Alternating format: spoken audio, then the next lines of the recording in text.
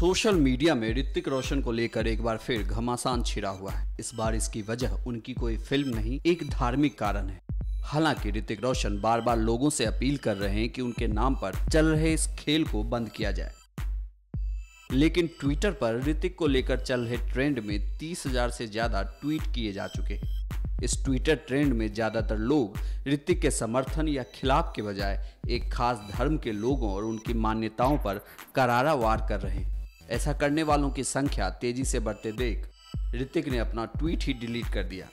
दरअसल 28 मार्च को ऋतिक रोशन ने एक ट्वीट किया था, जिसमें उन्होंने कंगना रनौत का नाम लेने के बजाय उन्हें पोप कह के संबोधित किया था। लेकिन ये बात ईसाई समुदाय को अच्छी नहीं लगी।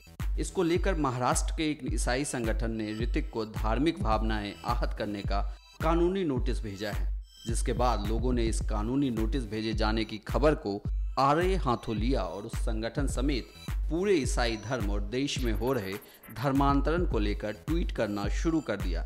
विवाद बढ़ता देख ऋतिक ने अपने ट्वीट से हटना ही मुनासिब समझा है।